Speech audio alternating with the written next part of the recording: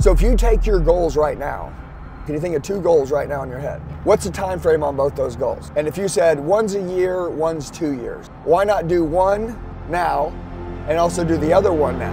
And let's just quit f***ing around with these next two years. Because the next two years, I would like to actually be doing big shit instead of saying, oh, we're working our way up. Hey, dude, that's your old life. Only crazy people get remembered. Only crazy people do things that inspire other people. Because if it's not crazy, then we see everything else that's going on, it won't catch my attention. And so if you want people saying, How'd you do it? Well, I believed in myself and I put my back against the wall before the rest of the world thought I was ready. I knew I was ready.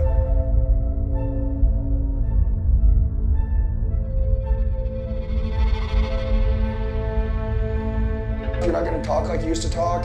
You're not to have the same language. You're not to have the same focus. You're to be focusing on different stuff now. Your body's gonna start looking different, dude. Like you just woke up, you're gonna get serious.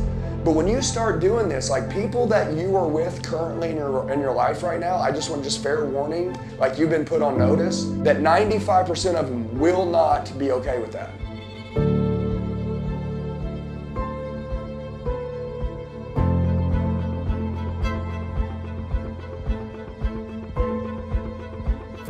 For anybody right now that doesn't have the life that they want, that doesn't have it, I need you to think do you know what it looks like? Do you know what, it, what you want? I'm going to tell you this. You will always commonly hear me talk to you guys about mindset. Always. Always, okay? Because look, if you go into a fight and you think you're gonna lose, you're gonna lose. Am I right? If you go into a fight and you think you're gonna lose, you're gonna get knocked out. Yes, you can never doubt yourself. Never. How many of you right now, guess what, are a little bit comfortable? Okay? Burn that. Burn that. Guys, I want to say this. Stay starving, not stay hungry, stay starving. Guys, how do you stay starving? Well, you got to have something in front of you that you're chasing. Listen, I have a vision of who I want to be in front of me at all times. And I take inventory of that daily. And I wonder, is am I becoming that guy? Or did I stall out?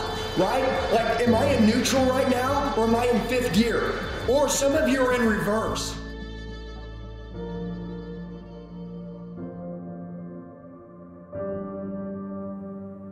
So many of you right now, you're capable of so much. You know this. You're resilient, you're a grinder, you're hungry, you're starving, your story matters, your name matters. Up to this point, how bad is your story? How crazy is it? What did you do? Who did you screw over? Okay?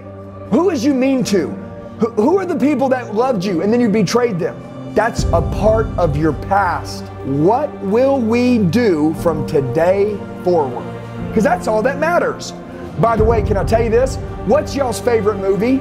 The movie where it starts out where some rich kid gets a bunch of money from his dad, spends a whole bunch of money, the whole movie goes by, he buys whatever he wants, he never has a problem, and then the movie ends? Or is it a movie like Rocky, where he was the underdog? Nobody thought he was going to make it. He had everything going against him. And the underdog, the David, smashed the Goliath because they believed in themselves, because they did the work, because they told themselves who they were and they didn't give up and they had hope.